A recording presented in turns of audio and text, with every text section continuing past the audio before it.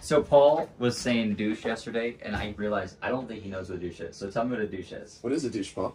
We are going to talk about the Navi motor, just do a quick kind of rundown on the components, kind of how to access things and what you'll likely be working on. The transmission is going to affect how it takes off, how it accelerates. So first off, what we have going on here is this is your variator up front. I'm gonna pull this off and show you guys where it should be. Because if it gets thin to a certain amount, what's gonna happen is you're gonna lose top speed. So over time, if you feel like your Navi is getting slower and slower and slower, hello, Hi, this is Paul Rowley with Medicare Health Services. How are you today? did you say your, your name is Paul Wall, People's Champ? This is Paul Rogers, sir. Paul Wall?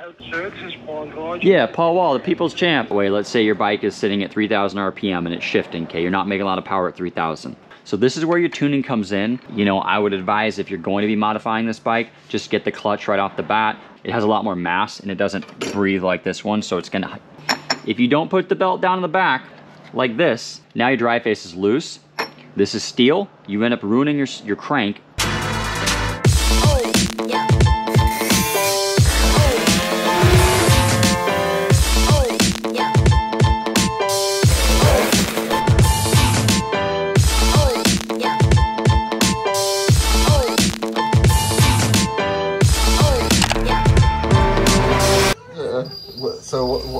Hey, what are you hey. John. You may want to be here for this. So Paul was saying douche yesterday, and I realized I don't think he knows what douche is. So tell me what a douche is. What is a douche, Paul? Uh, I just made some guesses. Well, yeah, yeah. Give us. a Well, guess. t- tell us the guesses on, on here. That, that was a sponge, All right. uh, and then I thought it was that thing in the bottom of the urinal. Oh, But that's a cake. actually that's, that's a urinal cake. that's a pretty good guess though. Yeah. Yeah. And then Uh, I said Pat. oh Jesus. Do you want to explain to what a douche deep is? cuts? Deep cuts. Do you want to explain to what a douche is, but in a way that can be put on YouTube in Yes. a medical Uh, manner? It is a tool used by women primarily. I would imagine. I don't know. It may be whatever. Anyway. Whatever. Yeah. Uh, by so women or on women? women use it to like freshen up their lady parts. Oh. Yeah. Is that It's fun. is that like okay? Is that No. PC? That's But not it, that's not enough detail. You need a little bit more Explain so detail. So it's a bottle with like a, a spout, we'll say, right? Uh, and it inward. Like Kind of like the the It's a camelback. Yeah. It's like a camelback. think of a camel. Yeah, think of a camel bag And the- that you would then squeeze. And where would all the water go? to wash out the insides, Paul. Yep. And then it goes back. Some of them the are- bottle. so it goes. You know how Ed goes goosh. Well, it goes douche. Yeah, it's to wash out the insides. Yeah. Makes sense. and you can use it. You can like they they have, like, Rectally. scented ones and yeah. How what do you what do you think of your world now? Paul's like, nah, I'm not. The I'm last not, I don't six want months. I taught him what menopause is because he didn't know. Oh, what menopause was. is kind of a messed up one. I feel sorry yeah, for women, it's dude. evil. Yeah, It's not well, cool. The men. And then what else? Hello. Oh yeah. What else did you teach him? About the douche. Yeah. Was something else? And how babies are made? Didn't you teach him that? Yeah, we talked about. No, I went down That. there. They you just kiss. Yeah, I believe that. I believe that. The internet talks a lot about that. You kiss and then it's, it shows up at the hospital. Oh, well, yeah, you gotta That's hold if them. you want to have twins. You gotta hold them a certain way, though. Yeah. It's like a secret uh, handshake. Yeah, it's like the this. Yeah. Oh, you Oh, know, you yeah, and then you gotta open know, up so the- like, Oh, Have you goes done to it? do you do you know how to do that? Take your hands and do this. I'm not gonna do that. No, Yeah, don't do it it. like Do this. it. It's not bad. It's obviously a joke. No, you're just like- do it. It's nothing. It's It's nothing bad, that's hurtful. It's nothing that's hurtful. No, not at all. It's like what we did when we were like five years old. It's Yeah, silly. just do your it. hands like this. Okay, and just like me. Okay, now bring them together. No, I'm not gonna do that. Oh, Just do does- it. Oh, it it's we were children. so awkward. Yeah. I'm a child. well, you you've proven Oh, otherwise. just do it. No, You won't. sounds You won't regret it. You won't regret it. Do it with John. Do it all with the John. kids. It's like a funny little kid thing. Like Do it with John to show him that it's safe. Right? Paul, hey, Paul, enter this into his body. Turn your hand sideways. Oh yeah. Bring No, it no. Do it, do it with John to show him that it's safe. No, no, no. You Alright, just do it. You ready? You ready? Okay. All right. Oh, yep. See. Look in there. That's Look it. in there. What do you see? Look in there. Just Do do it. Come Yeah. What do on. you see, Paul? See. I don't see. I see your Spread it more. What's it look like? He's like, I still don't understand. Oh, All right, we are going to talk about the Navi motor.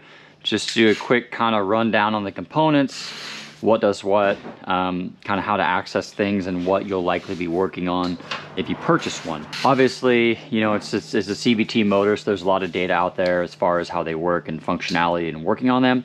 Navi is pretty similar to, to your standard CVT four-stroke motor. Kind of want to go over the basics of the transmission, you're not really gonna be doing much here unless you install a camshaft and that'll probably be another video at a later date. Coming around the other side here, kind of just go over the basics, your exhaust, where your stator and everything is, just give you guys a rough rundown on kind of how these motors work, your spark plug and whatnot. First off, kind of the most important thing that you guys are gonna work on is gonna be your, your CVT, and that's your transmission. That's all gonna be under this cover. you've got a belt in here and a pulley and whatnot. I just, right now, I just have one bolt holding this cover on because we've been testing things and it's just quicker for me to show you that without pulling them all off.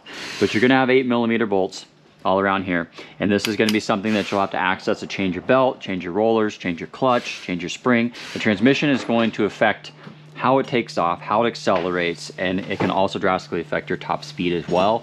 Uh, clutch engagement and just regular maintenance, as well. So the kind of the main things you guys are gonna wanna do on these bikes uh, while you own them is gonna be your oil change, which is very, very simple. Uh, same theory as, you know, um, a lot of your Honda PCXs and, and GSXs kind of same, same theory for the most part.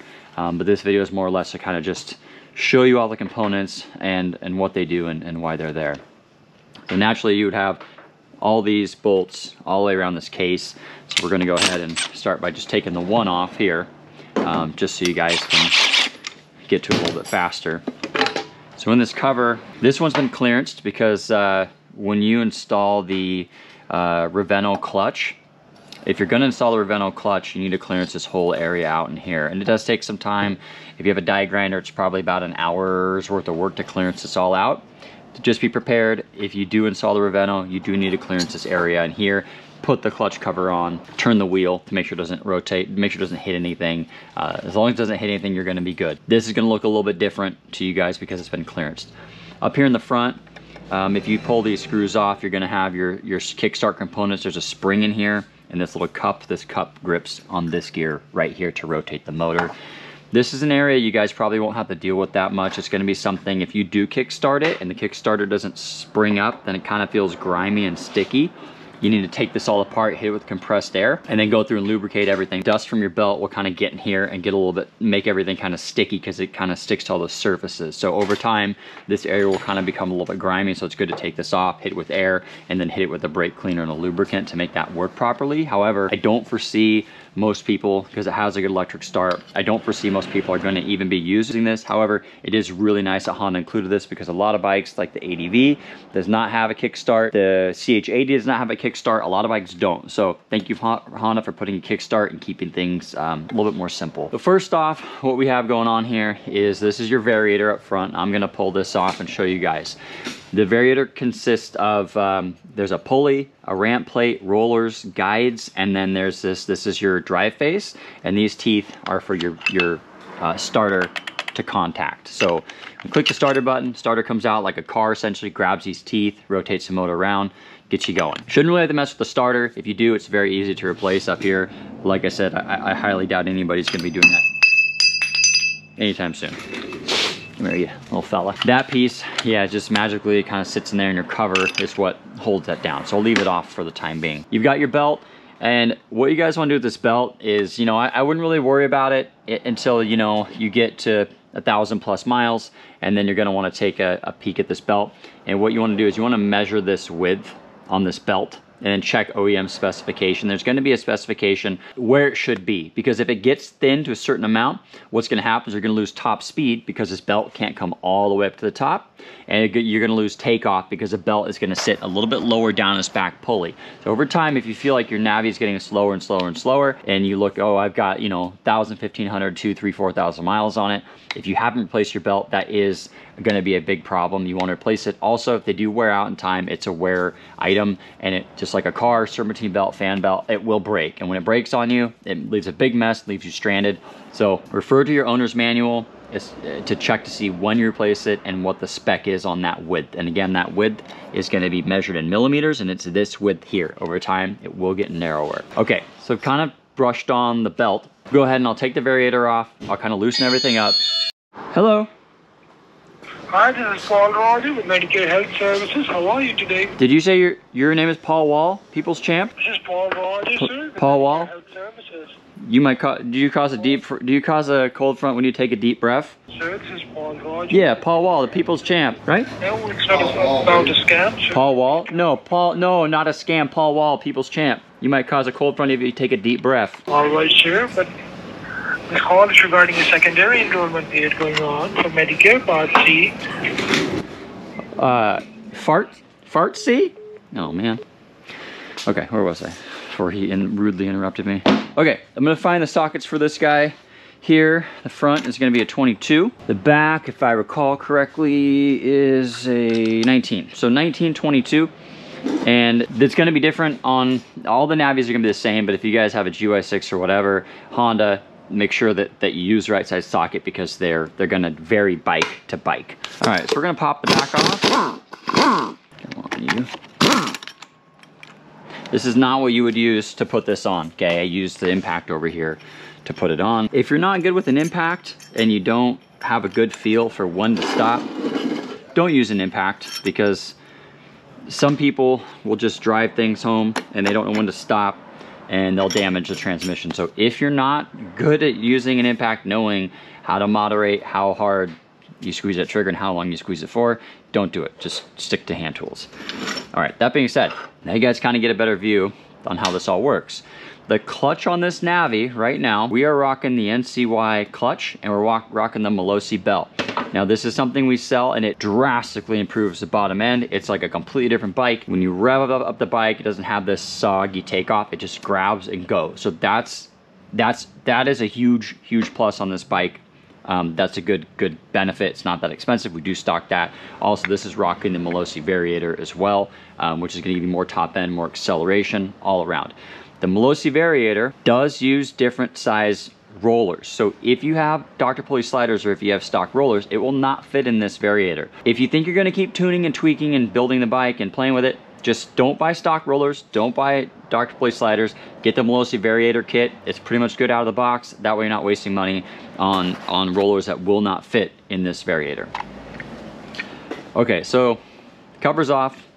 And of course we've got some performance parts on here, but we'll just kind of go over the basic. This is your clutch bell. This has got a, typically it's a little bit of a rougher surface in here. And the way this works is your engine spinning around like so. Okay, spinning around like this. The more throttle you give it, there's springs in here in this clutch that hold these shoes back. Those shoes fly out and they grip this clutch. This clutch is hooked to this shaft here and that turns your wheel.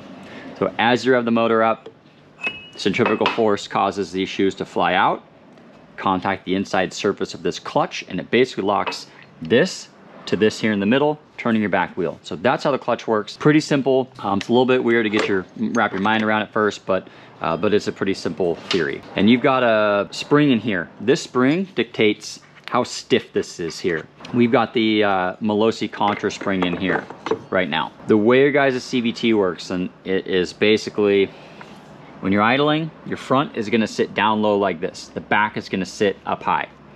Maybe this will help out a little better. So guys, explain to you guys CVT, okay? Think about a mountain bike.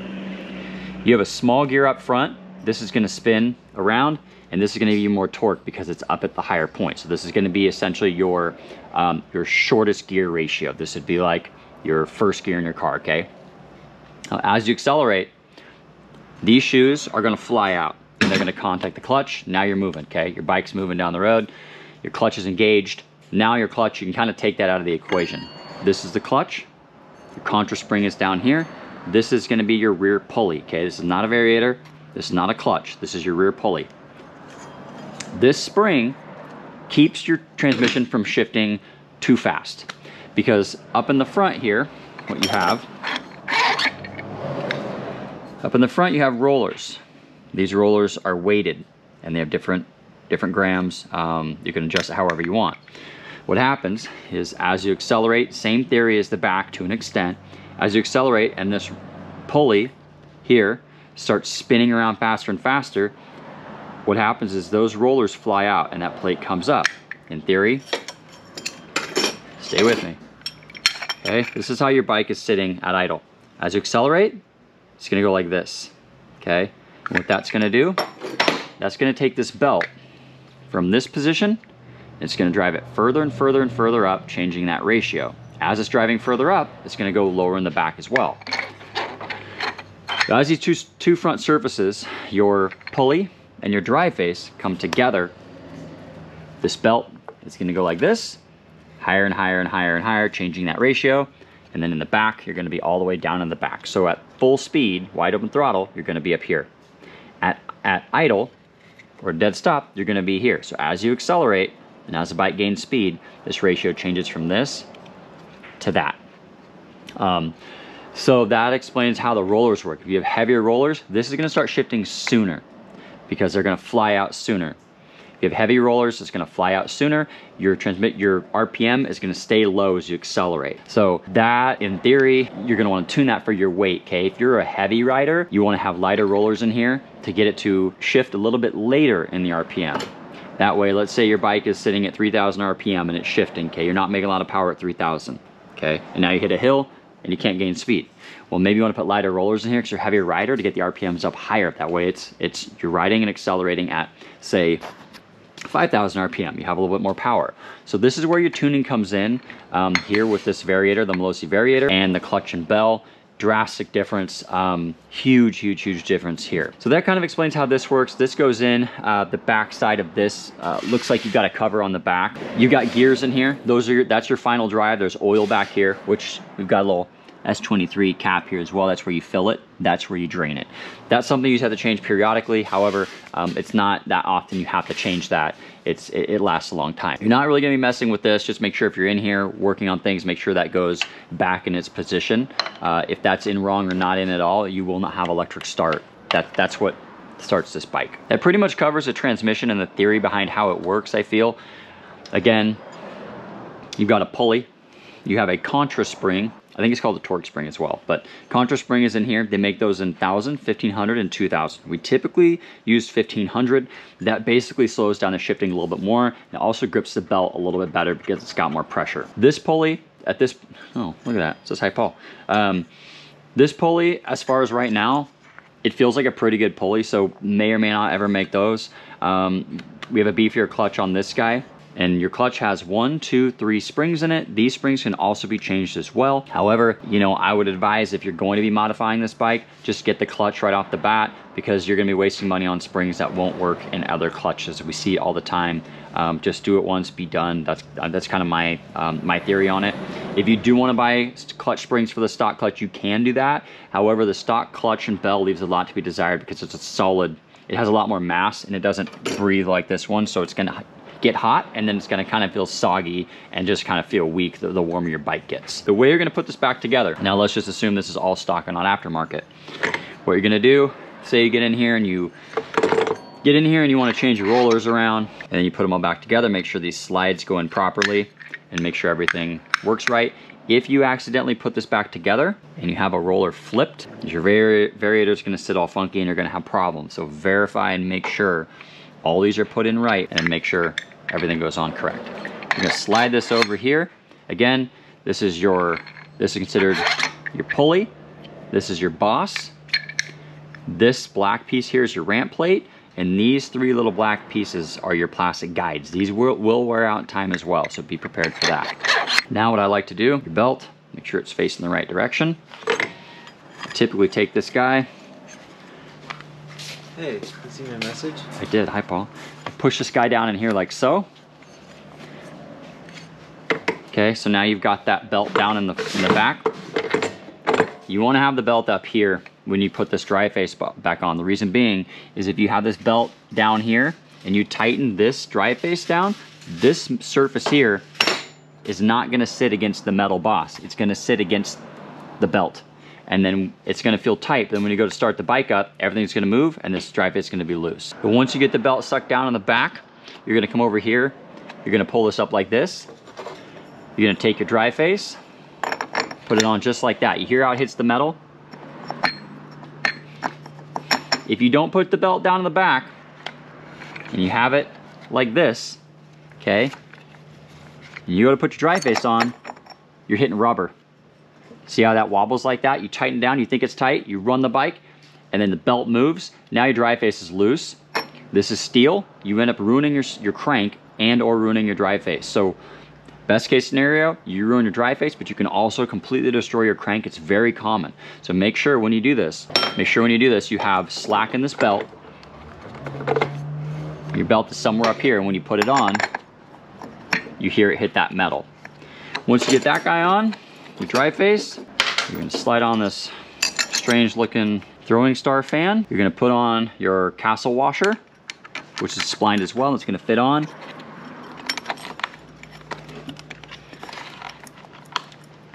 It's kind of tight, brand new bike, okay? Castle washer's on, and you have a washer here, and your nut, okay? And you're gonna tighten that all back down. Very simple, very straightforward. The back is, is much simpler. You're gonna put your bell on, you're gonna put your washer on, like so, and you're gonna tighten the nut. Always hand tighten it, or turn it by hand at least, you know, a few threads before you go at it with any type of tools to make sure your everything is good. So that covers the transmission. Um, again, this has some performance parts on it, but the theory is the same. That covers the transmission on this bike. Next thing we'll go over, we kind of touch base on the transmission, is the carburetor.